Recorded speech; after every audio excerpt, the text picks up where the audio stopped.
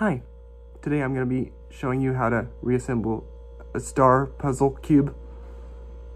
And so um, I'm going to start out with taking blue out. So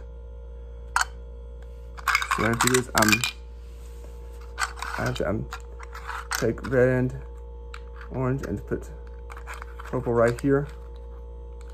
And then um, I um have to put, um, no, not yellow, um, green right here. And I put, no, I put, um,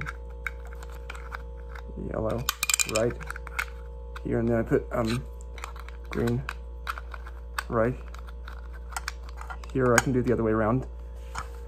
But then last is the blue piece. There you go. Now it's reassembled.